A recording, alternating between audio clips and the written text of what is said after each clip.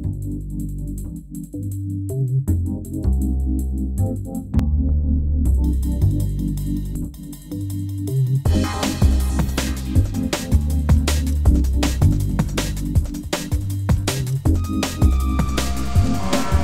we're out here today at Stanek Tool uh, in New Berlin, Wisconsin, just a little bit north of Milwaukee. And I've got a fixture. You can see it on my screen here. Let me zoom out just a little bit. You see this fixture stand here, and you can see it behind me too. I didn't take my camera today, but uh, I do have the webcam going. So what I wanted to show you guys today, though, is I'm measuring up this fixture for these three locations up on the top.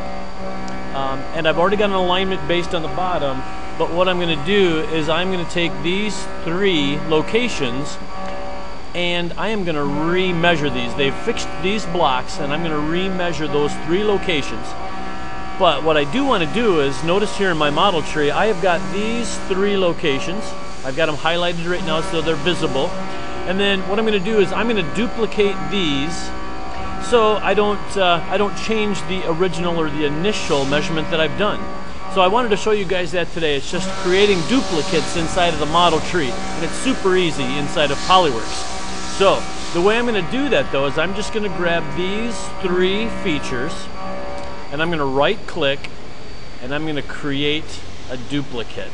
Now notice in the model tree they show up down below at the bottom of my features.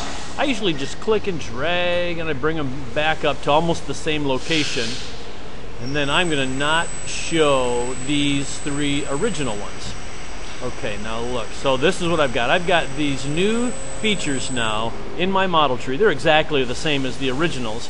But what I'm going to do is I am going to, or once these blocks are recreated or, um, or redone, um, what I'm going to do is I'm just going to come back into here, like this 0.6 origin, which is going to be this guy right here. I'm just going to right click and then I'm going to go probe measured.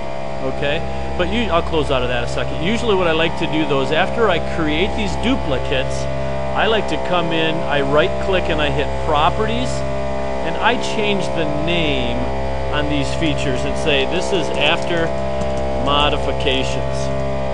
And then I just apply that and close it. So that, that's a good way of showing my client a before and after. So now if I highlight this 0.6 origin, and then here I'm hitting my Alt key and dragging this one out of the way, this way I can show them a before and then an after. So once I start to, uh, to remeasure this part, all these numbers will repopulate and hopefully that will all go green. So easy way of doing just uh, a remeasure, but what I wanted to do is keep the originals and just do this as an additional one just to show my client a before and an after.